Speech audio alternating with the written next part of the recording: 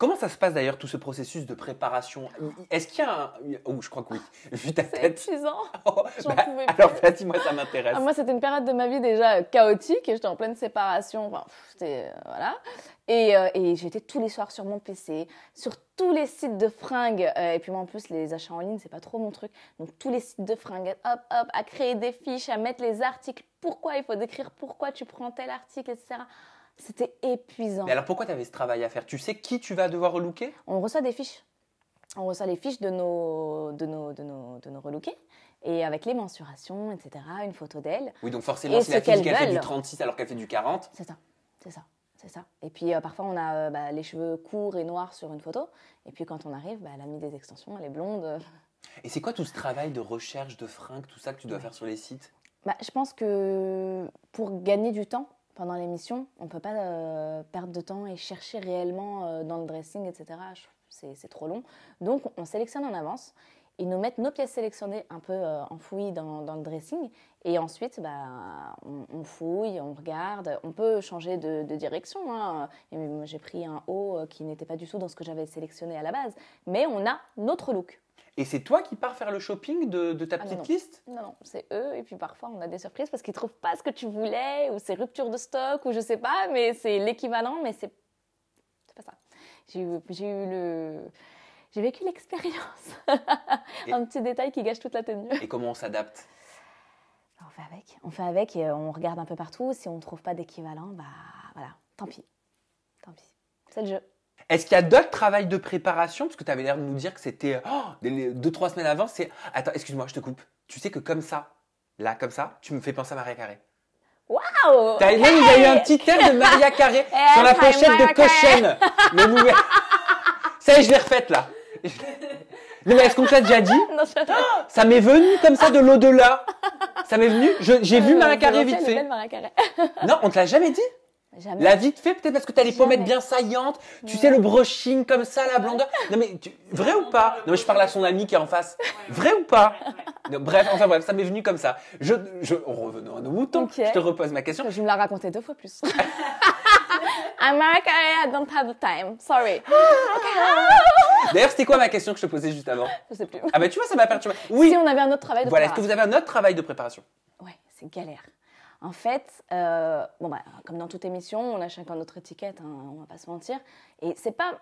hum, comment dire C'est pas mal, c'est comme ça. Il faut, des, faut des personnages, il faut attirer bah, les personnes qui aiment bien Kim Kardashian, les personnes qui aiment bien euh, le style américain, etc., etc. Donc, ils regardent ton Instagram, ils te disent, toi, tu as plus un style euh, à la Kim K, par exemple. Ils voient des jupes un peu moulantes, etc. Allez, toi, c'est Kim K. Ils vont vouloir du jupe Kim K toute la semaine.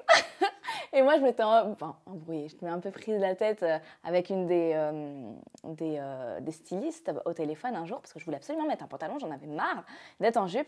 Et elle m'a dit Écoute, Myriam, ok, viens en pantalon, c'est bon. parce que j'étais vraiment à bout. C'était vraiment pas une bonne. Enfin, c'était pas trop une bonne période dans ma vie. Donc, du coup, j'étais à, à fleur de peau à cette période et, et j'en pouvais plus. quoi. Et j'ai dit Non, c'est bon, vos jupes, tout ça, moi la jupe, je veux pas la mettre, je veux mettre mon pantalon, je veux mon pantalon, je suis dans la vie de tous les jours, je mets des jeans et, et c'est vrai que, après c'est une nouvelle émission, donc je pense qu'ils testent, ils... Sur ton compte Instagram, on a vu pas mal de messages de ta communauté euh, qui disaient qu'ils étaient dans l'ensemble déçus, qu'ils voyaient pas la même personne.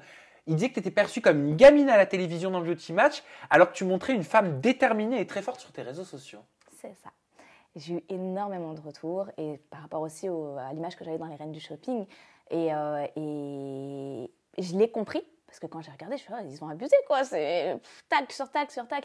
Et moi, je suis comme ça dans la vie de tous les jours. Je, je rigole énormément. Je suis très second degré. Et, euh, mais c'est vrai que condenser euh, dans 25 minutes d'émission, couper, couper, couper, couper à la chaîne, ça fait un peu lourd. Et euh, après, il faut savoir que euh, y a mon côté maman et entrepreneuse, etc., qui n'a pas du tout été mis en avant.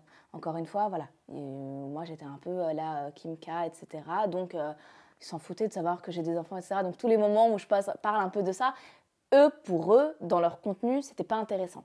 Mais pour moi, c'était important. Moi, c'est moi. C'est voilà, je suis, je, suis, je suis une femme indépendante, je, je, suis entrepreneuse, je suis maman. euh, Et, De deux tout enfants. Ça, de deux enfants. Et tout ça, on l'a pas ressenti. Ça ça m'a vraiment peiné, ça, par contre. Vraiment. Pourquoi as-tu été perçue comme hautaine et impolie? Parce qu'ils ont coupé. Ils ont coupé ma bise. j'ai fait la bise, enfin, tous les jours, on se faisait la bise.